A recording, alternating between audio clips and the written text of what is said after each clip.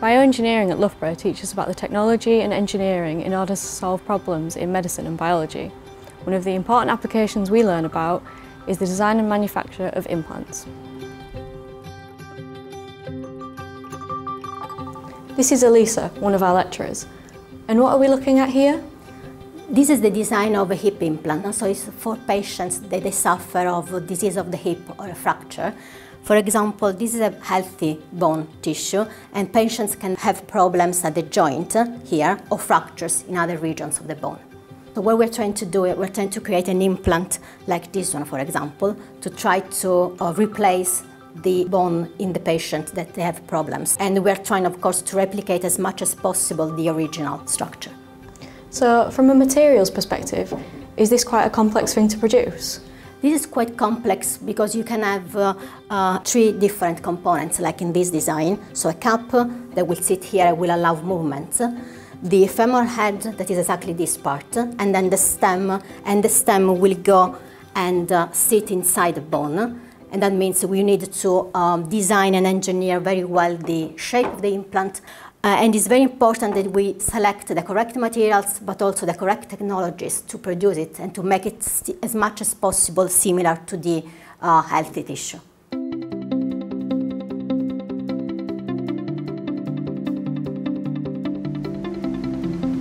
This is one of our polymer labs. In here we can conduct chemical synthesis of polymers in order to create new materials. So, for example, we can design polymers that can respond to external stimuli, such as change in temperature or pH, or we could design polymers that can degrade in a controlled manner once implanted inside the human body. We can also create nanocomposite systems. For example, we can create those with antibacterial properties by adding silver nanoparticles, or we can create those with enhanced mechanical properties by adding graphene. So, how can we use polymers in implants, such as the hip implant? So we can use a polymer like polymethyl methacrylate, for example, and this is used as a cement. So it is used to keep the implant in place. After the surgery, the implant will be fixed inside the bone and the cement will penetrate here the interface between the implant and the bone and it will allow the uh, implant to stay there for a long time. Uh, an advantage of using polymers is that you can combine them with nanoparticles, for example your silver nanoparticles, to create antibacterial cement, and they will protect the patient from infections.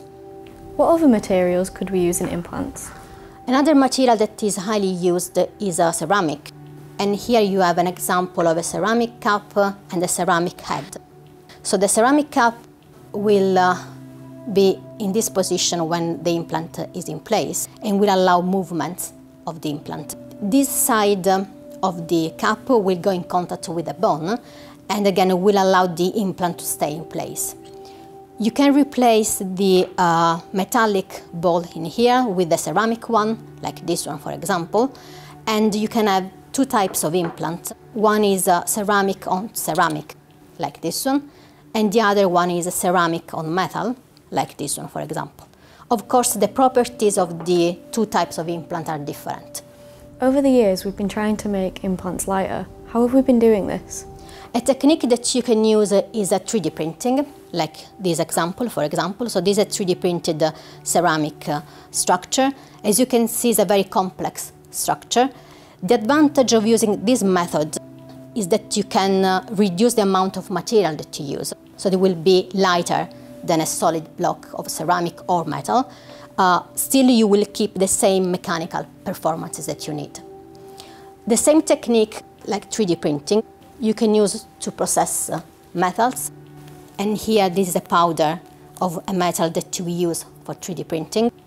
And you can create a very similar structure, maybe with a porosity that is smaller, so that means very tiny gaps within the material, and that are really useful to again have good mechanical properties but allow cells to penetrate from the healthy tissue around the implant inside the implant to again promote the integration of the implant in, in the human body.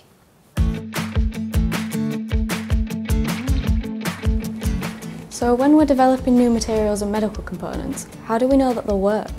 So you can test the mechanical properties of the implant For example, you can apply a load on the system, so do a compression test. You can study if there is a fracture in the stem of the implant or maybe the head of the implant. That is important because the hip uh, implant has to sustain the weight of the patient. Another type of test that is very important for hip implant is a hardness test. This is a system that we use. So we study if there is a release of particles, I mean very small uh, bits of the implant are released. When, for example, the cap is going to be in contact with the head. If those particles are released, they can create a problem like inflammation in the human body. These days we don't use, for example, metal on metal implants, but we tend to use uh, ceramic on metal or ceramic on ceramic because they don't release those particles.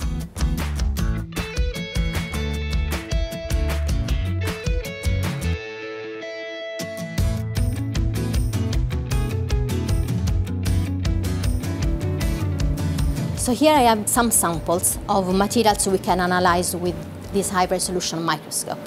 If we look at this sample here, you can zoom in and we can find the indentation area. So this is the indentation area that we analyze with the hardness test. So you can see the mark of the tip in here, but you can see also fragments of the material that has been removed from the sample. So if we go on the other sample, on the sample holder, this one for example. Those are the fragments. So they have uh, uh, different shapes and size, as you can see in the picture. So how small are these? Uh, from the scale bar here, this scale bar is 200 micron. So if you uh, consider that the diameter of one of your hair is around 60 micron, so, so you can see how small they are. Of course, we don't want those fragments to be released in the human body. So we are working to engineer the properties of materials so they can have enhanced performances. So you can see that we can get our hands on all the equipment that's used in industry to design, test and refine materials and devices. There's plenty more to see here at Loughborough and we're looking forward to seeing you in person.